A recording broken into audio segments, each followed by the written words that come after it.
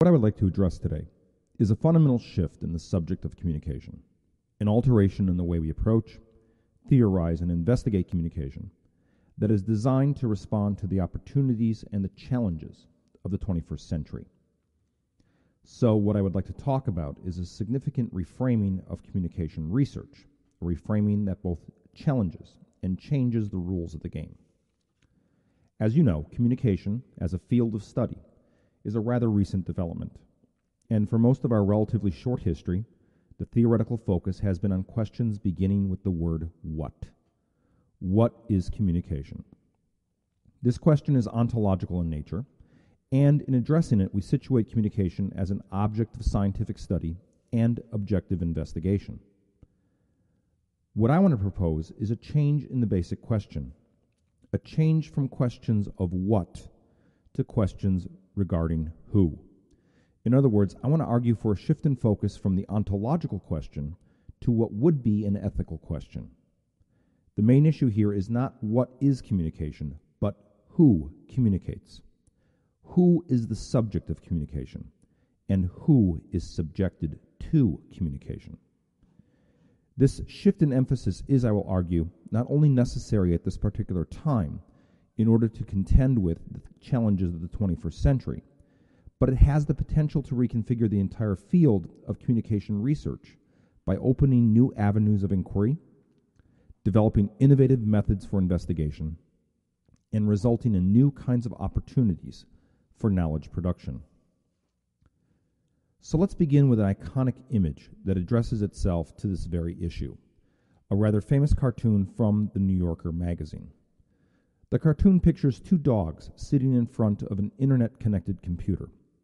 The one operating the machine says to his companion, On the internet, nobody knows you're a dog. This image has often been used in communication research to illustrate both the promise and the peril of what we now call computer mediated communication.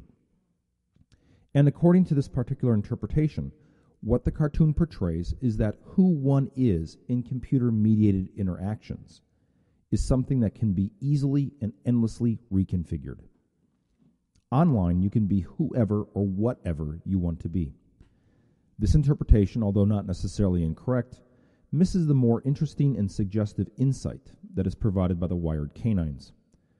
Consequently, what the cartoon illustrates is not only the anonymity and indeterminacy of online identity, but also the expectation that despite this anonymity, users of the internet automatically assume that the other with whom they interact and communicate is another human being. Consequently, what the cartoon illustrates is the standard assumption of mainstream communication theory and practice. Online identity is in fact reconfigurable. You can be a dog or you can say you are a dog. But everyone knows that what's on the other end of the fiber optic cable is another human user someone who is, despite what are often interpreted as minor variations in physical appearance and background, essentially like we assume ourselves to be.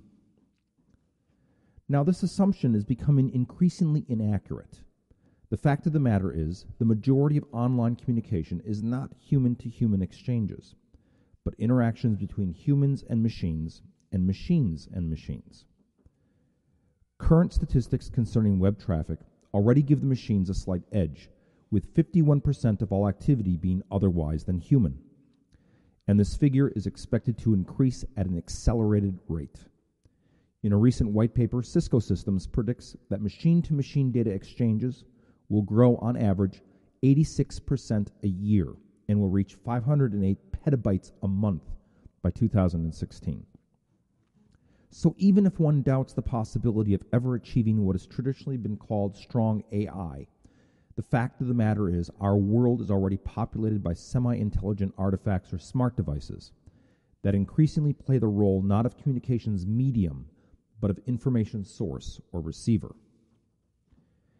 Communication studies must learn to come to terms with this development and reorient its theoretical framework in order to accommodate and respond to situations where the other in communicative exchange is no longer exclusively human. This is more than anything else what will define the opportunities and the challenges for communication research in the 21st century. So let me begin by returning to the place where it all began, the point at which the computer was first theorized as a technology of communication. This occurs in Robert Cathcart and Gary Gumpert's 1985 essay, The Person Computer Interaction. In this relatively early text, the authors draw a distinction between communicating through a computer from communicating with a computer. The former names all those computer facilitated functions where the computer is interposed between sender and receiver, while the latter designates person computer interpersonal functions where one party activates a computer which in turn responds appropriately in graphic, alphanumeric, or vocal modes establishing an ongoing sender receiver relationship. Despite these two possibilities, communication studies has, with very few exceptions, limited its approach and understanding to the former. That is, it is typically understood and examined the computer as a medium of human communicative interaction, or what is now called computer mediated communication. And defining the role and function of the computer in this manner is both intuitively attractive and conceptually sound. First, it situates the computer as at an identifiable position within the process model of communication, which was initially formalized by Claude Shannon and Warren Weaver back in the late 1940s. According to Shannon and Weaver, communication is a dyadic process bounded on one side by an information source or sender and on the other side by a receiver. These two participants are connected by a communication channel or medium through which messages selected by the sender are conveyed to the receiver. Communication studies typically locates the computer in the intermediate position of channel or medium. As such, it occupies the position granted to other forms of communication technology like print, telephone, radio, cinema, television, etc and it then is comprehended as something through which human messages pass. Second, this intermediate position is substantiated and justified by the traditional understanding of the proper role and function of the technological apparatus. According to Martin Heidegger, the assumed understanding of any kind of technology is that it is a means employed by human users for particular ends. Heidegger terms this particular conceptualization the instrumental definition, and he indicates that it informs what is considered to be the correct understanding of any technological innovation. Third, this instrumentalist understanding has been and remains largely unquestioned because it constitutes what epistemologists call normal science. The term normal science was introduced by Thomas Kuhn in his book, The Structure of Scientific Revolutions, to describe those undertakings that are guided by or follow an established paradigm or framework. Paradigms, according to Kuhn, are universally recognized scientific achievements that, for a time, provide model problems and solutions to a community of practitioners. Operating within an established paradigm provides students, scholars, and educators with a common set of assumptions and a foundation that they can follow for pursuing scientific research. This effectively puts an end to debates about fundamentals and allows researchers to concentrate their attention on common problems defined by a particular science. When the computer is understood and examined as an instrument or medium facilitating human communication, research generally concentrates on either the quality or the quantity of the messages that can be distributed by the system, or the kinds of relationships that are made between the human senders and receivers through this particular form of mediation.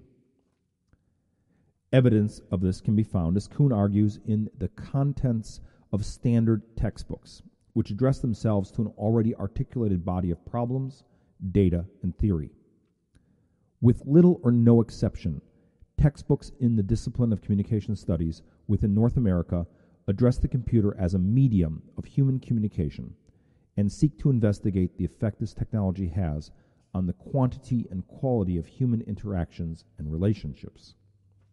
And in North America and Europe, computer mediated communication has become normal science. It characterizes the work that I did early in my career, the investigations pursued by the majority of my colleagues, and the research interests of my graduate and postgraduate students. They are all, in one way or another, working on problems defined by the computer mediated communication paradigm. Now, despite the remarkable success of computer mediated communication, this approach unfortunately misses a crucial opportunity initially identified by Cathcart and Gumpert back in 1985. And that's the fact that a machine like a computer is not just a means of human concourse, but might also be considered a participant in communicative interactions. Now, what do I mean by this? Let's consider four examples. First, unwanted email or spam. Spam messages, which inform internet users of everything from herbal supplements, which promise to enhance the size and operation of various body parts, to bogus investment opportunities, are messages generated by and originating from a machine. As a result of the seemingly unrestrained proliferation of machinic generated messages, users and network administrators now employ spam filters, which effectively decide which messages to deliver to human users and which ones to filter out. In the era of spam, therefore, email is no longer an exclusive instrument of human communication, but shows signs of increasing involvement by machines in the communicative process. A less nefarious illustration is provided by chatterbots that now populate the virtual environments of games, provide online customer support, and interact with users in all kinds of applications from e commerce to web based training. These chatterbots are able to converse and interact with users in such a way that is often indistinguishable from another human being, leaving many users uncertain as to whether their online interlocutor was in fact another person or a machine. A third example can be found in the area of customer service.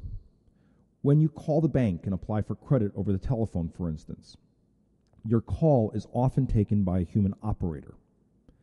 This human being, however, is not the active agent in the conversation.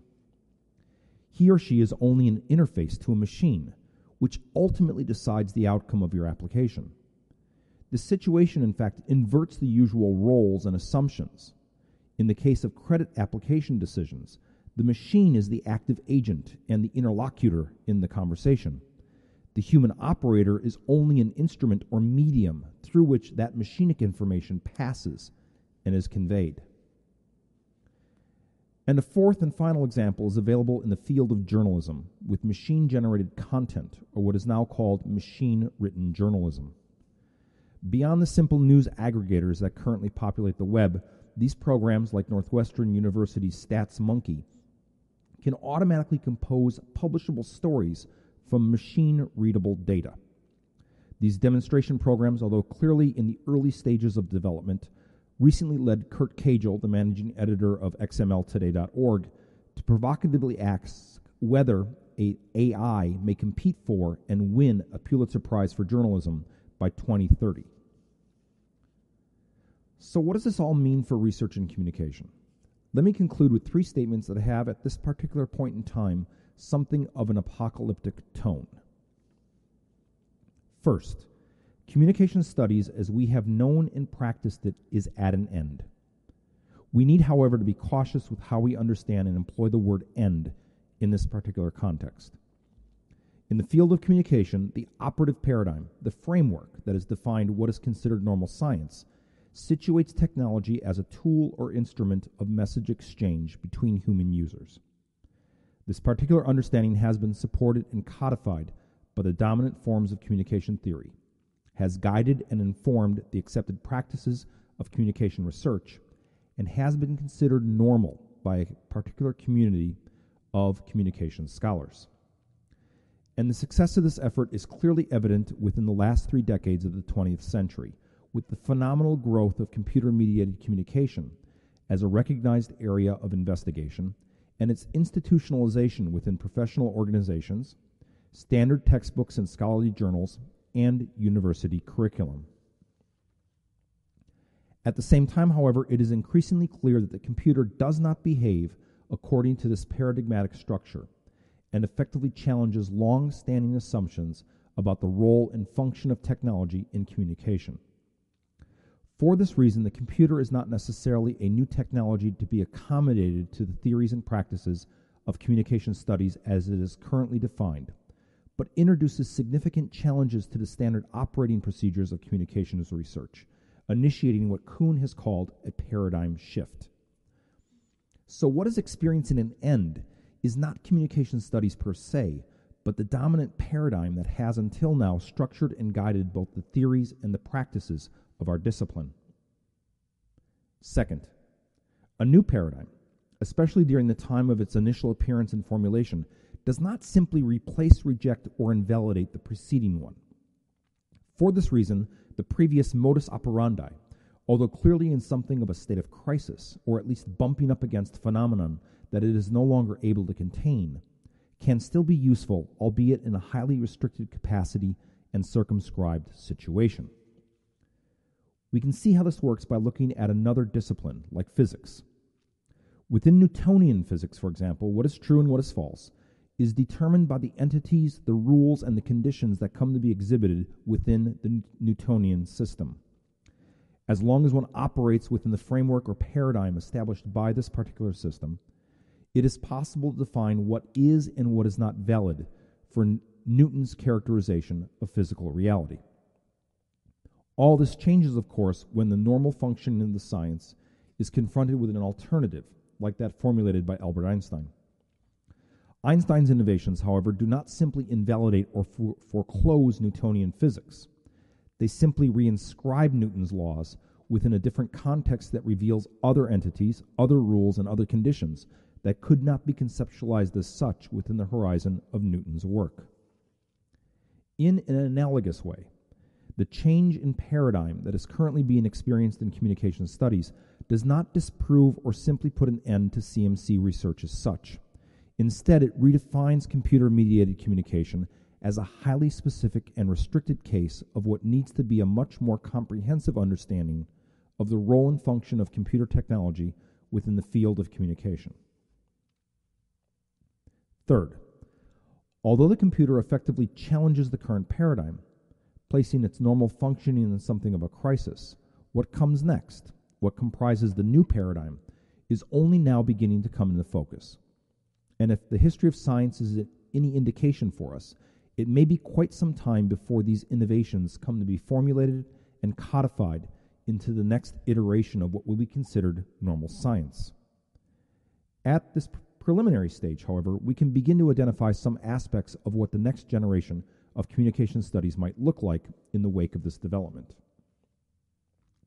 From what we already know, it is clear that it is no longer accurate to define the computer exclusively as an instrument that is to be animated and used more or less effectively by human beings. The computer is beginning to be situated and understood as an other, another kind of communicative other, who confronts human users, calls to them, and requires an appropriate response. This other aspect of the computer, as we have seen, was already predicted by communication theorists back in 1985.